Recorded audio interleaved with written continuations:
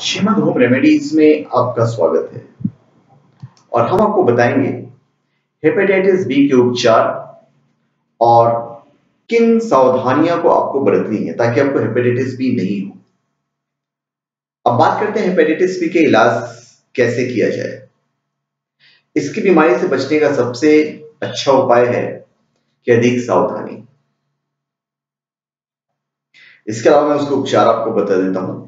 आपको जब hepatitis B हो जाए तो आपको अधिक से आराम, अधिक से अधिक आराम की ज़रूरत है। दर्द निवारक दवाइयों का सेवन करें, इससे पेट दर्द और खुमारी से आराम मिलेगा। पर डॉक्टर से बिल्कुल पूछ के आप दवाई खाएँगे। ढीले और हल्के कपड़े पहने और जितना हो सके ठंडे वातावरण में रहें। गर्म पानी गर्म पानी से नहाने से बचें, वरना इससे शरीर में खुजली हो सकती है।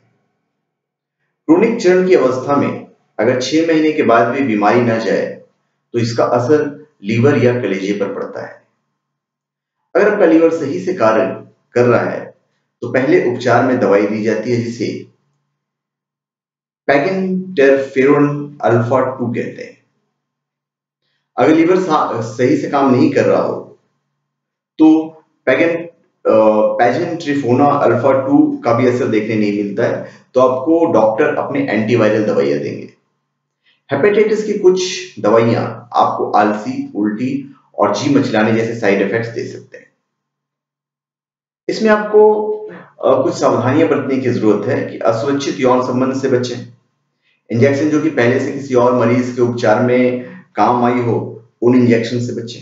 रीजर और टूथब्रश को भी साझा टूथब्रश को भी साझा नहीं करें संतुलित और स्वस्थ भोजन खाएँ शराब और दूसरे नशीली पदार्थों का सेवन बंद कर दें। अगर कोई महिला गर्भवती है तो उसे जल्द ही डॉक्टर की मदद लेनी चाहिए।